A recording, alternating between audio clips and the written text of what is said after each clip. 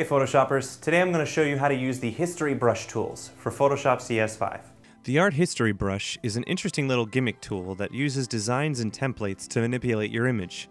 It really serves no practical purpose and is used for little more than creating cool effects. In the toolbar, click and hold the History Brush tool and drag down to the Art History Brush tool. Press and hold the Shift key, then press Y to cycle to your tool of choice via keyboard.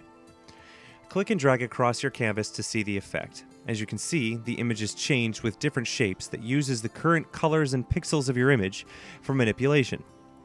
On the top menu, you have a few options for different shapes and effects. You can change the opacity, lighten or darken the effect, change the type of effect, and change its range. The tool has some cool effects, but don't expect it to use it for anything professional. It may, however, create some interesting artistic effects for graphic design.